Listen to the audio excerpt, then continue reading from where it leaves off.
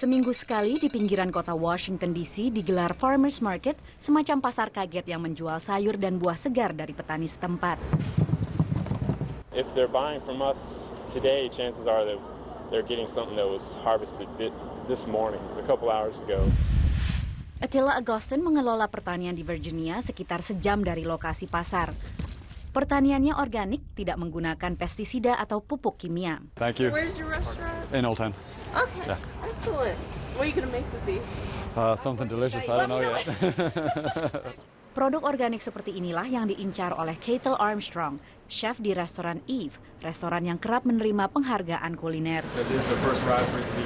Ketel Armstrong adalah penggiat farm to table movement, gerakan dari pertanian ke meja makan, yaitu hanya menggunakan produk pertanian dan peternakan lokal yang sedang musim. we serve strawberries when they're in season. We serve asparagus when it's in season.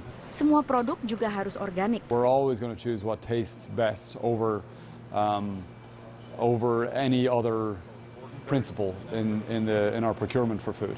There's a much cleaner, much purer flavor from food that is produced organically. This is the best, the best fruiting tree we get. Bahkan Ketel Armstrong menanam sendiri kebun organik di halaman belakang restorannya.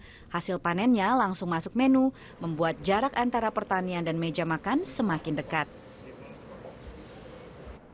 Restoran dengan konsep farm to table dapat ditemukan di hampir setiap kota besar di Amerika.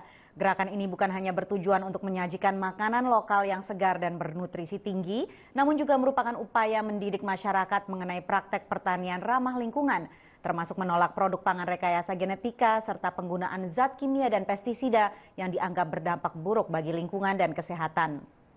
Dari Washington DC, saya Patsy Widakuswara dan tim VOA.